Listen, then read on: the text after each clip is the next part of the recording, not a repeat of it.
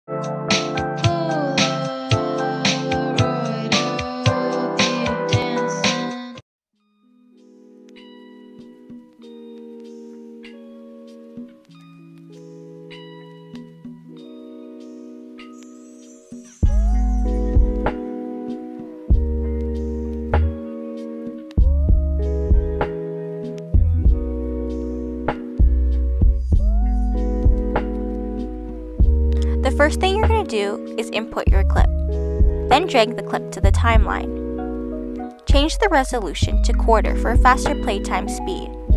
Make sure to enable motion blur to your clip.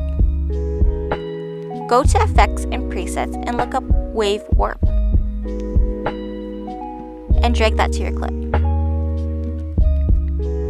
Change the wave type to sawtooth. And change the wave width to 200 change the direction to 130. And now you can change the speed to your liking. I prefer 0.5 to 1.0. You don't want it too fast, but you don't want it too slow. Again, go to Effects and Presets and look up Motion Tile. Drag this on top of Wave Warp.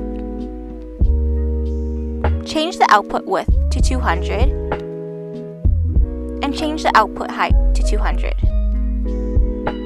Make sure to mirror the edges. Now you can press Command Shift C and pre-comp your clip to make it easier to move. And you're finished. I hope you enjoyed this video and please like and subscribe for more.